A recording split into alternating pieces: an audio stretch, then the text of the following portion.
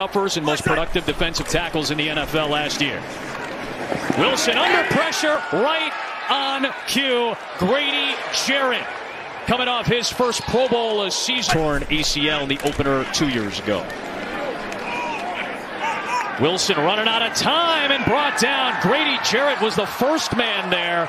And then he got finished off by Dante Fowler. After the penalty from Atlanta territory, it's Elliott. Breaks a couple tackles, still turning forward. And now another fumble. Do you believe this? This time it is picked up by Atlanta.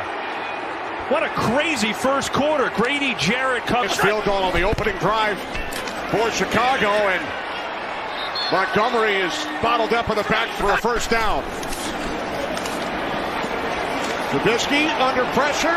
Down he goes. Caught a third down and one. Hill back to throw.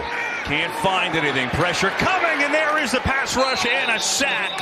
A penalty as well as Jarrett got home, so did Bailey, and let's see what the flag is. Assault this game away up by four. On the play fake. Pressure and Brady, and out he goes. Grady Jarrett with a huge sack for it.